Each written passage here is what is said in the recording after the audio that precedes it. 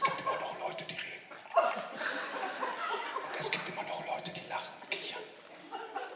Das ist nicht gut. Und der nächste.